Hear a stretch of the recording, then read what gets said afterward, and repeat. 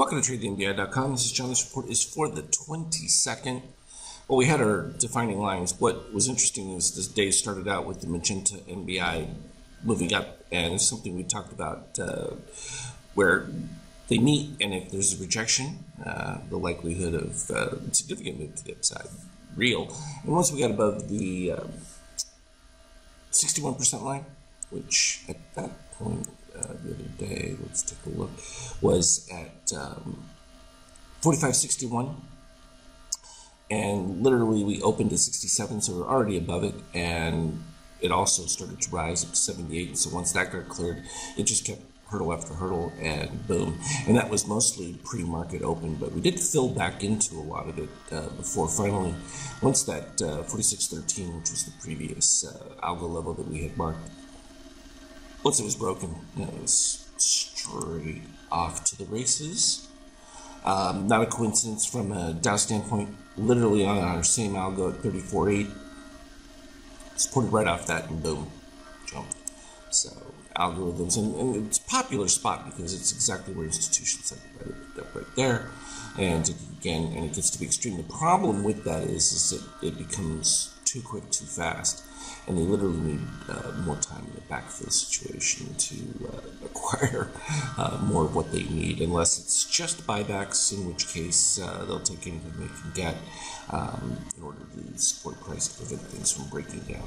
So that will be the interesting test going forward. From an NQ standpoint, again, 50% started to rise, opened right on that, and boom, all the way up above the 61%. Uh, so clean action. A um, little bit better uh, reading from the NASDAQ than we had from before. Uh, still uh, needs some help here with the DOC readings, but on the right track.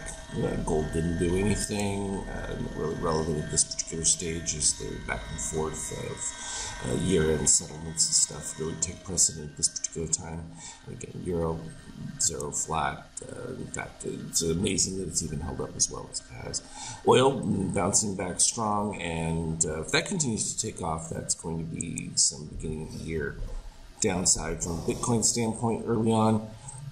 Buy setup started MBI took that uh, long setup from there, and then again uh, the secondary breakout, and uh, added right here at the end of this one that could be a little bit of weakness uh, that was posted right there at 76%, but uh, magenta still leading. So, I mean, you see that steel coming from so far below, uh, and definitely uh, cyan under red, uh, it's more bullish than not, which is exactly what this needed because we talked about this uh, needed to get above that 48 um, and remain there. And that was uh, exactly what happened in ETH from the same standpoint. Uh, put in a series of positive extremes.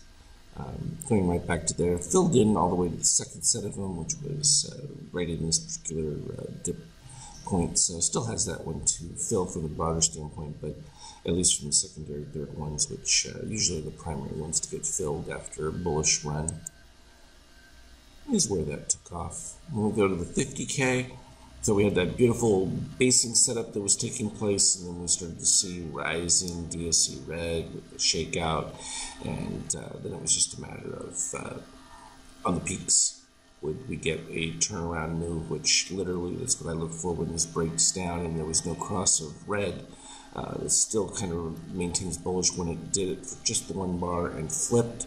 It also had DSC green moving over cyan, cyan moving under red, all the reverse operations of a DSC spread to the downside, pushing to the upside, and that's exactly what it did, and expectation for 100% fulfilled. So spot on. From an intraday standpoint, not as much volume as might expect given the size of the move. Um, we started off a lot of positive extremes. Started marking those down because those would be the uh, primary ones, and then the previous day going all the way down to 57. Didn't think that would fill unless there was a major 50k sell below the 50% level. Um, it didn't look like that was in the cards, and marked it as we filled it, put it on this uh, Skype chat. Um, as the signal started coming in uh, for that setup, and uh, sure enough, it was nice and clean.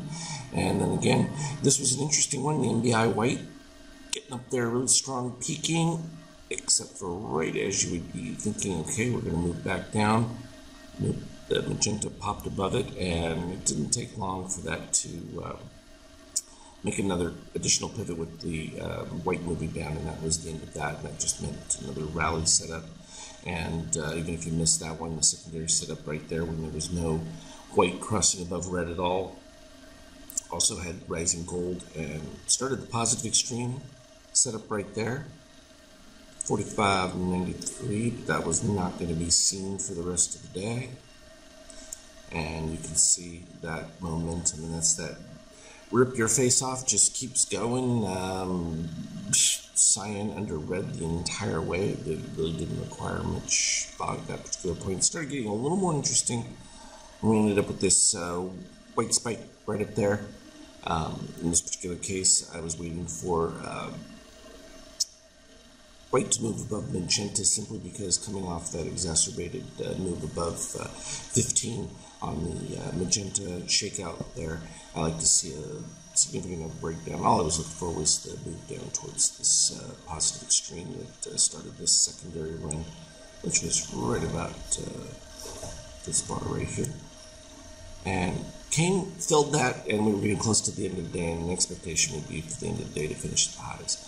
And that's exactly what it turned around to do. I posted that one. There was no shock with that move at all. Uh, kind of standardized moves. So, all in all, pretty good stuff. Uh, right in line with our expectations. So, um, you know, the this is what happens when you get a little bit more movement in there. You get these uh, violent runbacks. Now, the key on this setup, though, that we definitely want to be watching is do we get back up to that 47, 43 range? Because if you don't, and we start making lower highs and then filling back into some of it, that's when it becomes interesting because um, at a certain point, some people will be like, uh, not going to buy it until it proves that it can make uh, continued new highs. And uh, as it's set up right now, double top, people will be starting to mark head and shoulders and all sorts of other uh, wild uh, things, but literally we're going to see it on our readings, so that will be sign for us.